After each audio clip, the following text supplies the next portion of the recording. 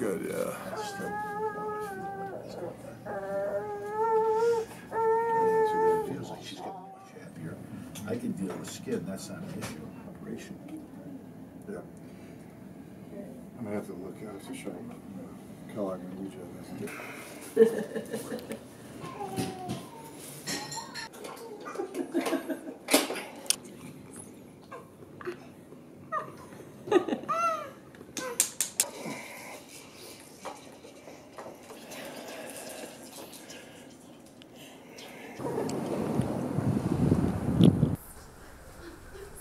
It's nice and warm in the room with Aunt Julie out here.